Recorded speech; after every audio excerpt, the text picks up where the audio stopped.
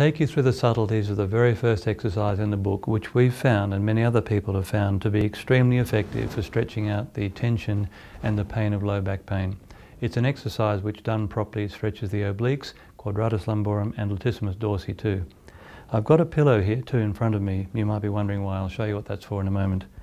The first thing is a chair with a nice comfortable base, especially if you've got piriformis problems. The second thing is you need to have your knees spread widely enough apart so that you can actually hold onto the base of the chair, which is what makes this one a particularly good chair to use.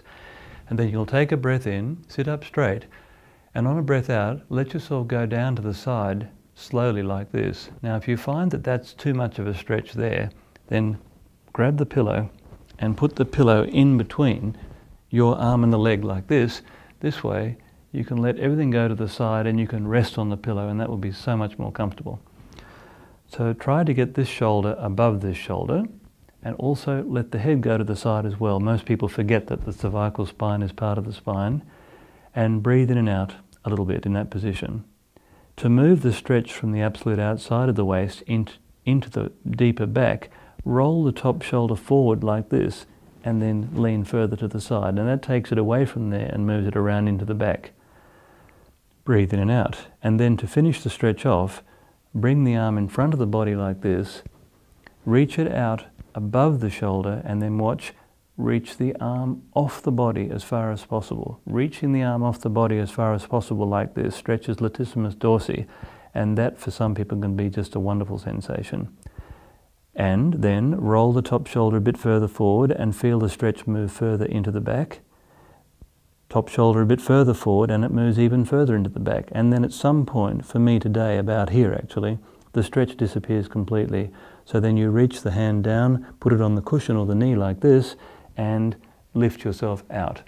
And then you do the other side. So follow along while I do the other side. Get comfortable on the chair. Put the pillow in position if you need it hold the side of the chair and make sure you've got a really good grip here. You want to be, the sense should be that you're hanging off this arm. Take a breath in, settle yourself, make sure the knees are spread far enough apart and also notice I've got my feet slightly in front of my knees, that's for stability. And on a breath out, slowly let yourself down like so.